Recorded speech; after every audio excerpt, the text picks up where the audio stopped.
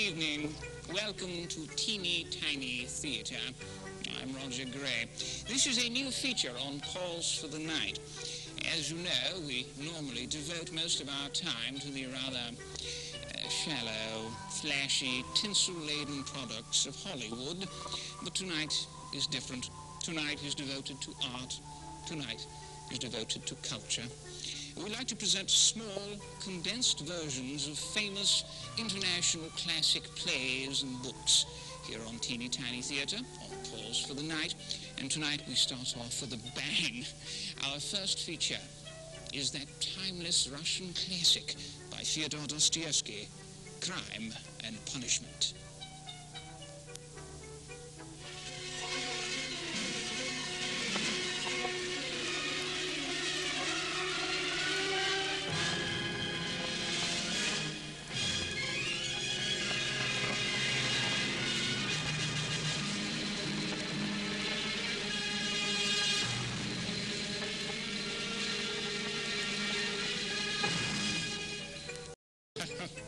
Theatre can be exciting, can't it? We hope you enjoyed Crime and Punishment and that you'll join us next week for a one-minute of Hamlet. Thank you.